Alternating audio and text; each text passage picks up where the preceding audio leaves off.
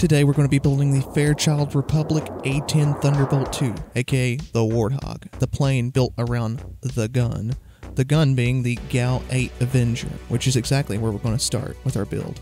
The Avenger fires a 30mm projectile at 3900 RPM, which can do some really incredible damage.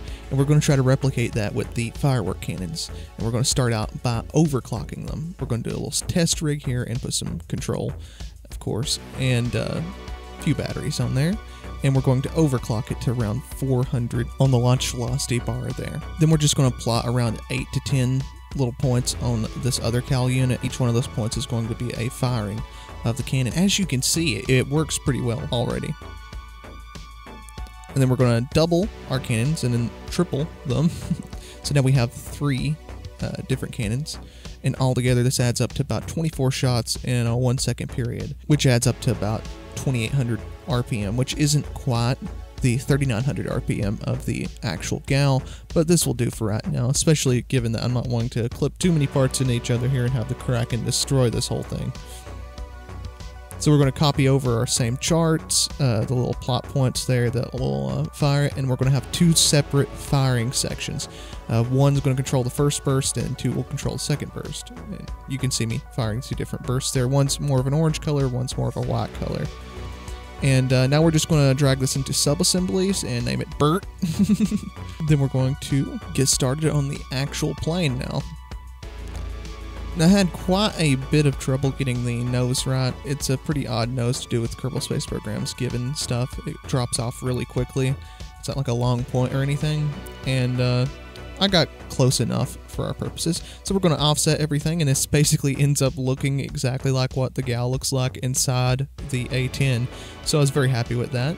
And uh, just kind of tweaking everything around, getting the main fuel tank there and fuselage, and uh, trying to figure out what tail I need to use and what length I need to use of tail. And now we're going to mount those gigantic engines on there. So basically, I'm just holding them up with two wings, and uh, I'm going to use a uh, whatever those are called, in- engine nacelles, and then uh, just some intakes and stuff. I think that looks pretty close, as is right there, to the actual engines on the A10, which is pretty surprising.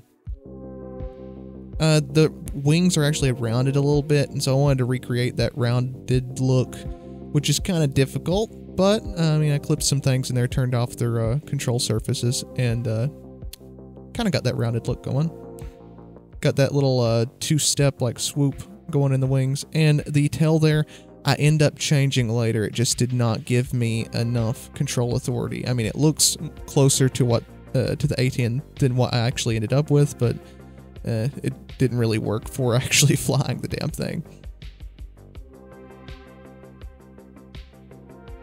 And I'm putting some weight there in the nose because my god is the center of gravity off on this. Like very off. you can see that the uh, the center of lift is way back there. Then I'm gonna add some hard points uh, on the wings, and uh, now we're adding like the little radar dish looking thing on the back. I'll, I'll put a picture of it here, but yeah, I don't know what it is. Put some bombs on there, and then we're just going to completely yank a uh, the guided missile off of the F-18 that I made in an earlier video. Go check that out. I'll put it up here. And uh, yeah, we're just going to yank that and put that on the bottom. and then uh, some uh, little missiles that I use for pretty much everything, even though they really don't do any damage. But hey, I got them to fly straight finally. and we're just going to mess around with the, the missiles and then try to launch it and it's pulling to the left and I'm like, what's going on here? This thing's just going in circles. If you look really closely here, you can see the problem. Somewhere along the lines, it's probably in the build there. I, I turned the landing gear pointing left in the front there. And I notice it right there, and I'm like, I'm such an idiot. So I revert it, straighten it out. I don't know how that happens. but yeah, uh, it didn't really want to fly, uh, as you'll see here. It just did not have enough control authority over that uh, tail and everything. So it would it would barely get off the ground all the way out here, but then directly into the ocean. So reverting again. Then then I just stick like the two bigger control surface things over top of the back wings. I don't know why I did that. I could have just removed them. I think I was just not wanting to go through with the hassle of uh, removing the back tail section. So uh, I just stuck them over. This, this, it worked better. But as you can see, it's like full open there and it's still barely keeping the nose up where it's so nose heavy to the center of lift. So uh, I go back in and just completely replace the tails. So there's no like tail lift and that'll move the center of lift farther up toward the center of mass. And moi, works like a charm. Still not perfect. Uh, ended up tweaking the position of the engines later, but hey, it actually flies now. See I got some cool shots here. Pretty low frame rate because uh, my computer struggles with Kerbal Space Program. But uh, we're flying this over to a very special target you may have seen in the beginning of the video. And uh, I've been learning uh, camera tools a little bit, as you can tell.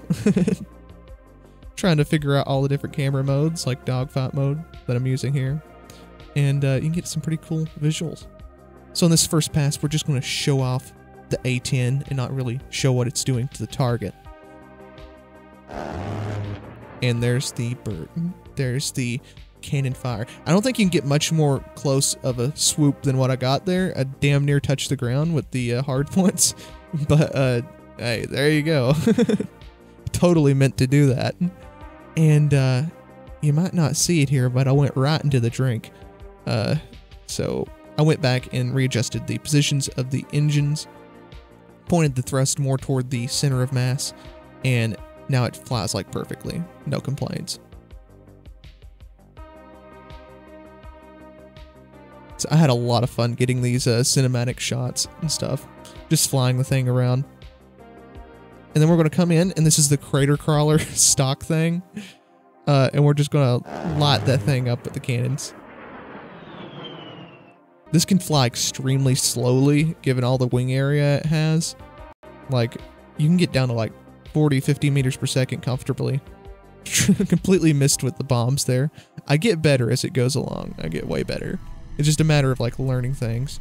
But I got pretty mad about missing those bombs, so I decided to drop the guided missile and uh, kind of pilot it myself. So I point to the target, lock onto the target, and I'm a little bit off. So I'm like steering it, controlling it, and somehow I actually hit it. when I tell you I felt cool after this happened, I felt really damn cool. There's a little replay of what happened. and then we're going to light this thing up again. And I think I hit something, just judging by the frame rate drop there. But uh, we don't end up checking it out. It's just a little bit too difficult of a target. So we got something bigger and wider that will uh, show it's a little bit easier. So we're going to relaunch the A10 because I crashed it after every single one of these. I'm not going to lie to you. And uh, come in here for a first meeting between the, uh, what is it called, like the Mallard? It's just another stock plane. Hey, if you guys have any tanks or anything like that, I'll do a follow-up video and blow up some tanks that you guys have made. There's the pass. There's the beautiful, beautiful pass that I did that was that was showing off the cannon in its best ability. So I come in and drop some bombs on it too. Direct hit with bombs. Uh, this is when I really got the hang of uh, targeting with this, which this is completely stock. So this is just me going completely by instinctual. Uh, drop it here, it may hit. the rockets. The, don't talk about the rockets. So as you see, we blew a wing off, blew the engines up. That that thing is very well neutralized. So we're gonna let out our anger for uh, a lowered budget, I guess, on the uh, on the space center now. And as you can see, again, these this cannon is just insane in what it can do. It fires like 24 rounds instantly, and then you've got a second burst, and they, they're going really fast. I just wish it had more of the sound and not so much the kind of noise that it does. And watch this. Now this this it may be the end of the world, I'm gonna warn you guys. Because as you can see there, I'm trying to land. And watch how it goes. I actually landed the damn thing. I actually landed the thing. This is the first video, I think. Correct me if I'm wrong, where I actually land something properly. Shocker.